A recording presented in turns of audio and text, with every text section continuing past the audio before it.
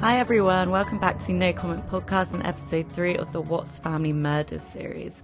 In the previous episode, we took a whirlwind tour through NK and Watts's affair and considered some of the key events that may have set in motion a sequence of events that ended in Chris Watts becoming one of the most infamous family annihilators to date. So, in today's episode, we travelled to North Carolina in the weeks before the murders and take a look at the Watts' final family vacation.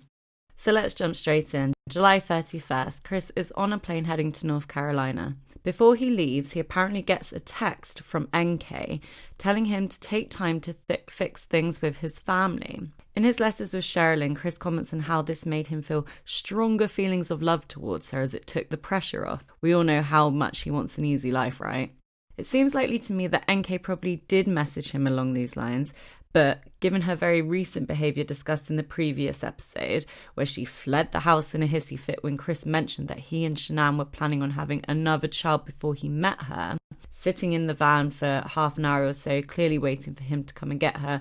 Unfortunately, she failed to take into account Chris's inability to pick up on emotional cues. I'm guessing this message was a facade, and the subtext reads something along the lines of Don't you dare forget how wonderful, cool, and laid back I am. Your wife would never say something like this because she's not chilled out like me. I'm breezy. So, this next part we're going to discuss is only referenced in Cherlyn Cadle's book. Chris does not talk about this in his first or subsequent confessions. On his first night in North Carolina, Shanann wasn't feeling well from a headache. Chris, being the caring and considerate husband he was, offered to get her a painkiller. Smell her at? You'd be right. According to Chris, on that first night, having not seen his wife for over five weeks, he decided to spike her with 80 milligrams of oxycodone, as he had researched on the internet that that dose would cause her to miscarry their unborn child. Okay, so whilst I don't think for a minute that Chris is above this kind of despicable act, here's a few inconsistencies I've pulled out. Firstly, in his letter to Cherlyn, Chris doesn't expressly mention discussing Oxy as a painkiller, just that he gave it to her. Cherlyn met with him in person a number of times, so he may have mentioned that to her in person during one of their visits for her to add to the chapter. Secondly, in her many YouTube appearances, Cherlyn appears to completely change the narrative around the Oxy incident by saying that Chris crushed the pill and put it into Shanann's Thrive Shake. Okay, what? Again, allegedly, this is what he told her during one of their visit sessions, but it's completely different to what she put in her book, and which makes me question why there are such glaring inconsistencies and why weren't these addressed by Cherlyn in her book. Another point worth noting is apparently you can't crush 80 milligrams of oxy because the tablets are coated in a crush resistant material. Our level, I really don't know much about this drug other than it's a gateway to heroin and should be avoided like the plague. But I read a load of comments from medical people saying they just can't be crushed.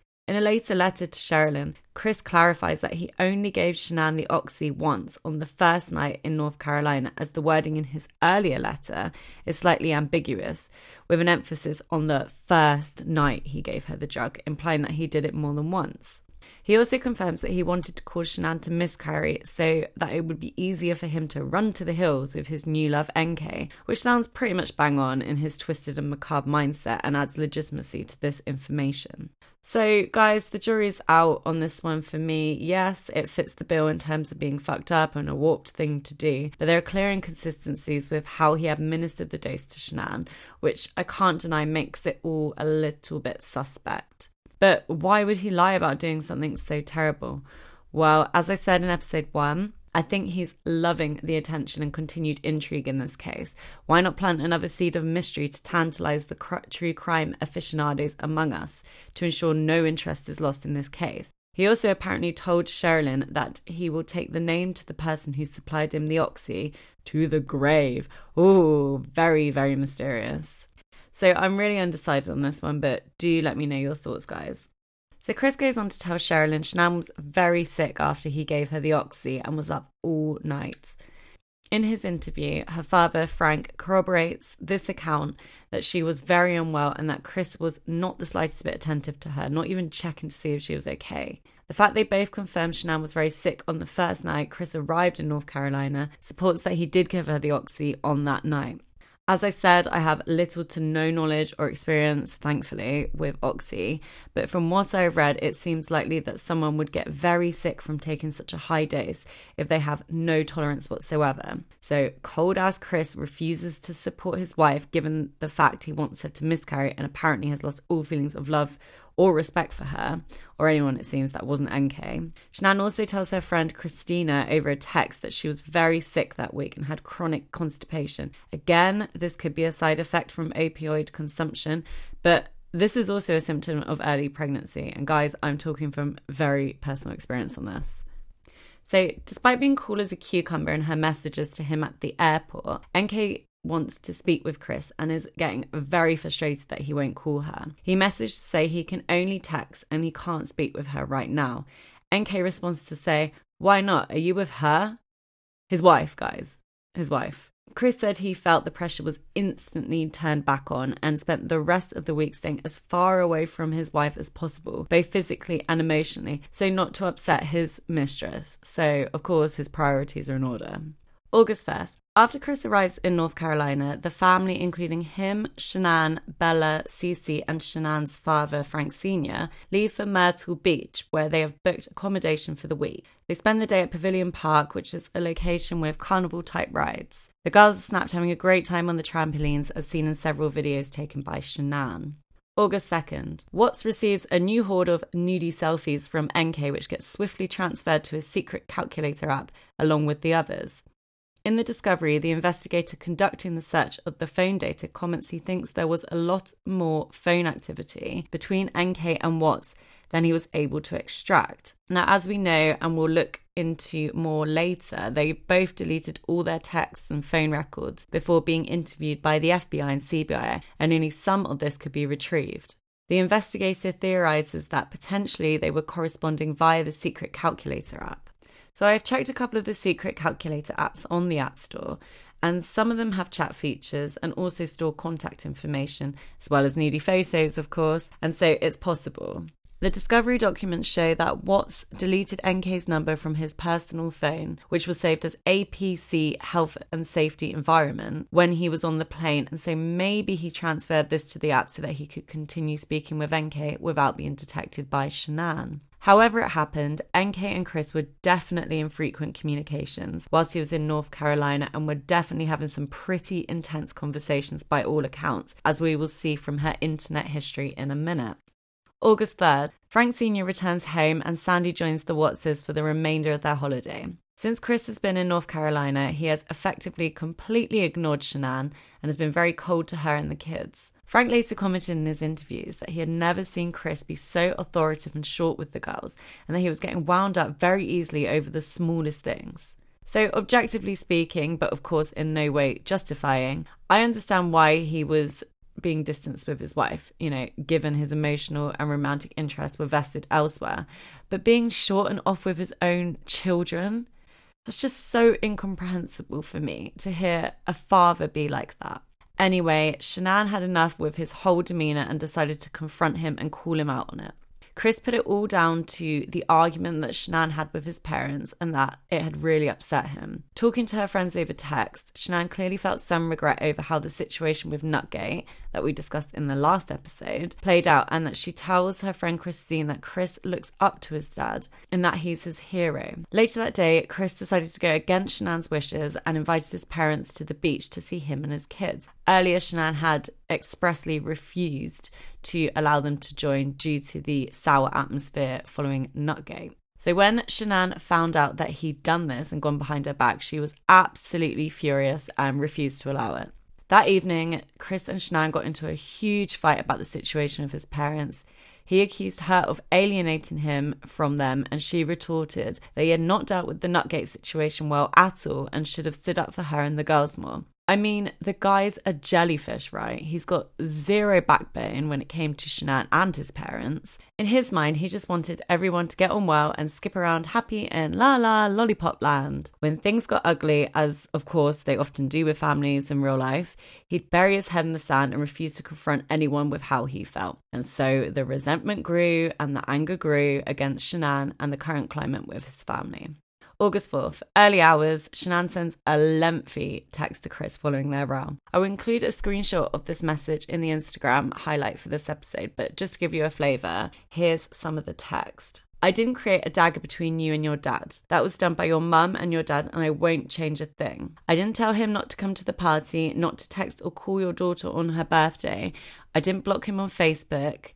He did. Your parents' home isn't a safe zone. Your mum isn't safe. These kids are my world and I will protect them from the evil in this world. So, talking about Chris's mum, she's evil and willing to risk your daughter's life to get under my skin. Then, talking about Chris. Something changed when you left. The pregnancy, you have failed to acknowledge it or how I am feeling. I'm not going to be treated this way for having the balls to protect our family and kids.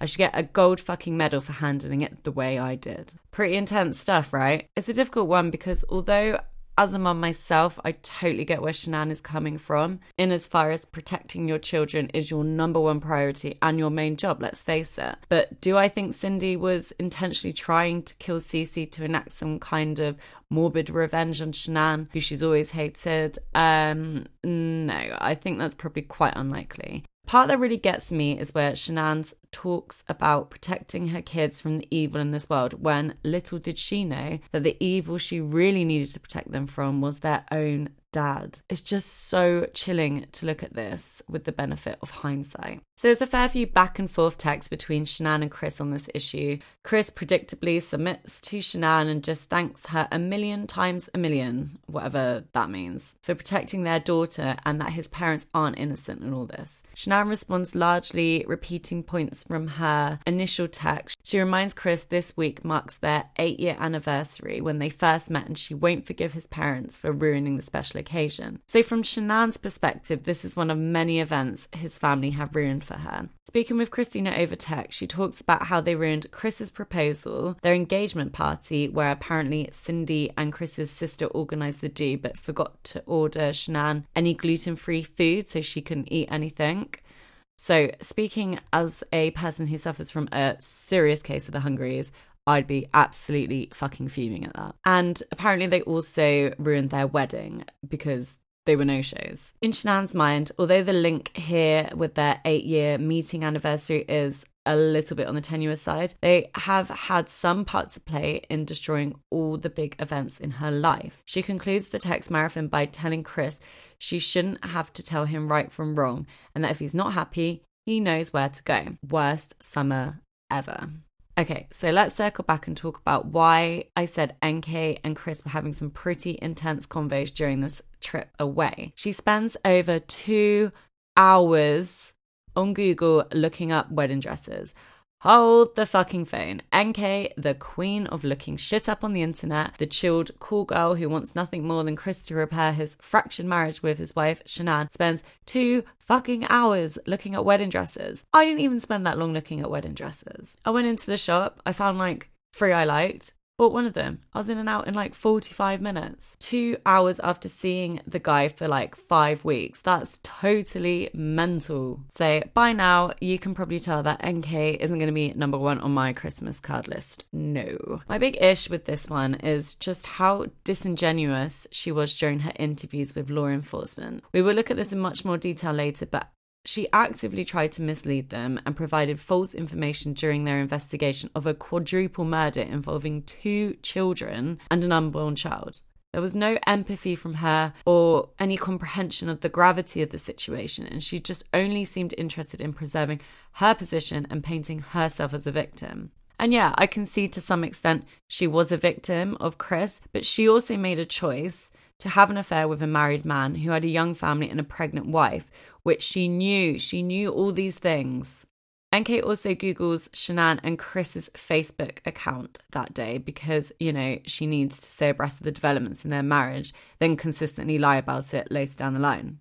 August 5th, Shanann and Chris text about plans to see his mama and take the girls. Shanann is clear she doesn't want the girls seeing his parents, but will take them to see his grandmother. Shanann goes on to say she doesn't want to be put in a position where she might run into them, as in his parents, if they go and see Chris's mama. She tells him, I'm not kidding, Christopher. Ouch, using first name. Such a stinger that. If my husband calls me Nicole instead of babe, I know that I'm in the shit. She goes on to say, I'm having a bad experience these last few days of my pregnancy and I'm spotting. So perhaps this is evidence again to support that he did slip her oxy on the first night he was in North Carolina.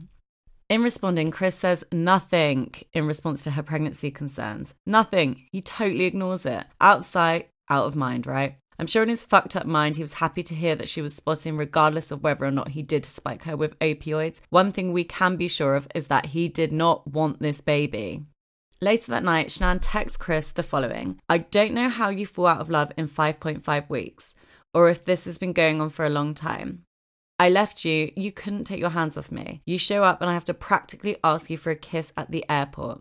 She says in another text, I miss the smell of you, touching you in bed, you touching me, period. I miss staring at you and making love to you. If you don't love me, don't want this to work out, not happy anymore, and only staying for the kids. I need you to tell me. Finally, late that night, Shanann texts, our marriage is crumbling in front of us and you can sleep. So Chris doesn't respond to any of Shanann's messages, or if he did, they've been deleted from his phone and are not referenced from hers in the discovery. She is desperately looking for answers and to be consoled by her husband. But no, Chris's mind is elsewhere. The first phone activity for Watts following the flurry of texts from his poor wife is a Google search at 6:13 a.m. on the 6th of August. The distance from the moon to the earth.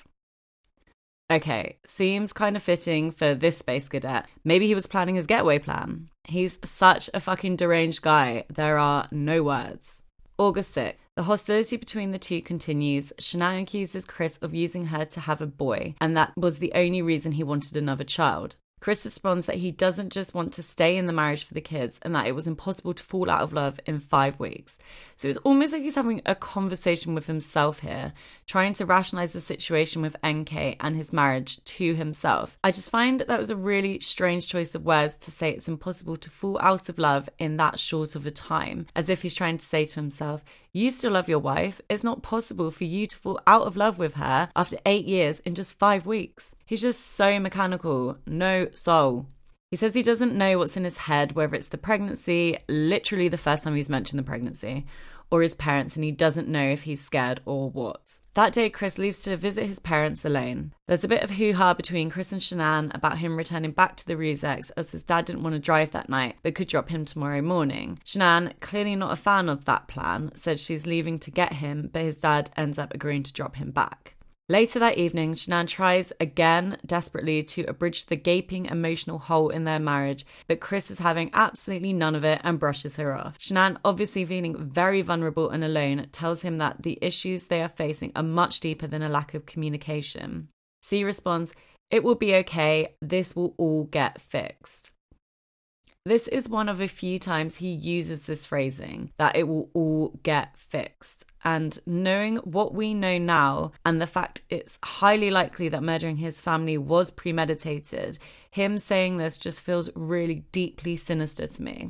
So, this is also the night that Chris tells Shanann that he's scared to death of having another baby and is happy with just Bella and Cece. According to Shanann, it was Chris's idea to have another baby as he wanted a son, but now he's telling her that he doesn't want the baby.